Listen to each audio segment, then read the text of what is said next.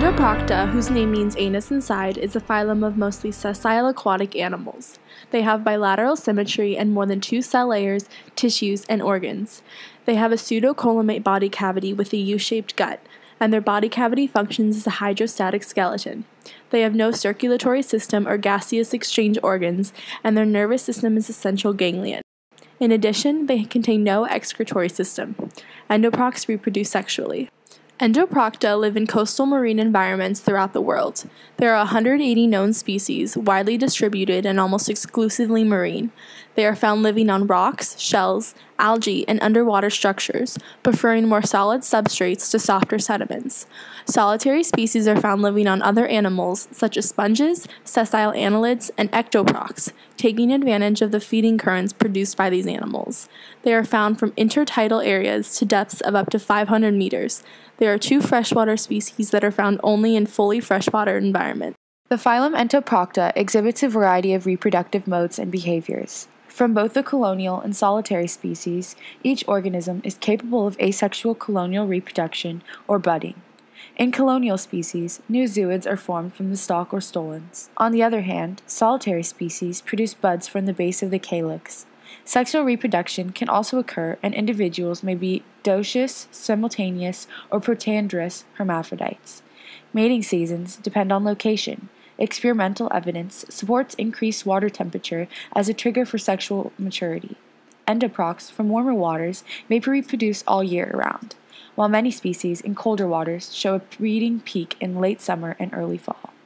Entoprocta are suspension feeders. They extract food particles, mainly phytoplankton, from currents produced by lateral cilia on their tentacles. Entoprocs generally use their cilia to create a feeding current and another to trap food particles.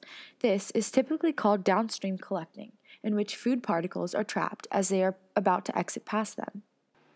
The phylum is sessile or immobile. Their tentacles covered with cilia can move water, but they remain in the same place. Entoprocs are protostomes, meaning that they have a spiral cleavage, the fate for the blastopore is a mouth, and there is an anus.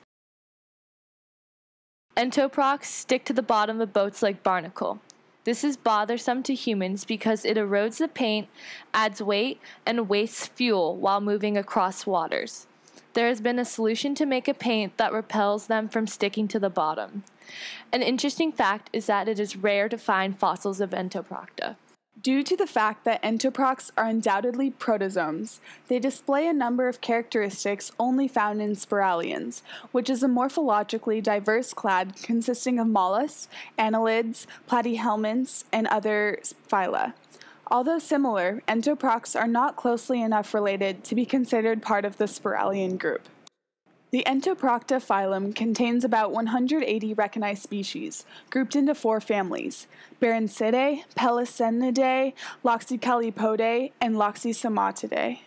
Because entoprocs are small in size and possess a delicate body structure, fossils have been extremely rare. However, Entoprocta fossils can be dated back to approximately 520 million years ago, during the Cambrian period. Referencing the phylogenetic tree, the closest relative to Entoprocs are the phylum Annelida. In the character matrix, the Echinodermata and arthropoda are grouped together because they share similar traits like tissue, digestion, circulatory system, locomotion, appendages, and food. But both trees group Bryozoa and Annelida together, which makes sense because they have similar worm like characteristics.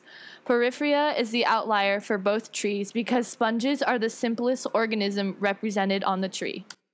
When entoprocs were first discovered, they were regarded as a class within the phylum Bryozoa because both groups were sessile animals that filter fed with a crown of tentacles. However, since 1869, increasing awareness of differences, including the position of the entoproct anus inside the feeding structure and the difference in the early developmental stage of cells in their embryos, allowed scientists to consider the two groups as separate phyla.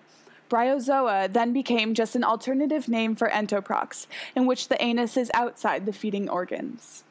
In the article written by Nielsen, the phylogeny mentioned Entoprocta being linked with Ectoprocta, and they are closely related to Echinodermata and more distantly related to Mollusca and Annelida, which are grouped together.